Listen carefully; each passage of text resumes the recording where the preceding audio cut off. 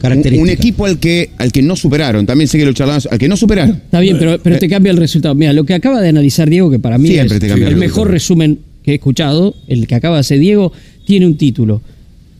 El triunfo, aunque sea Perdón, nos estadísticamente. estamos dando vuelta, perdón, ¿Qué ¿Qué pasó? pasó? perdón, nos estamos dando vuelta porque estamos, sí, ¿no? Sí, sí, porque hay un grito de alguien No que se se puede meter, la verdad que es un día que no se puede meter en el agua, como ayer. Y hay alguien que está pidiendo auxilio. Bueno. Claro, se Este, escuchaba el y grito acá me dice, No, y lo que se escuchaba era el mar. entró el, sal- el.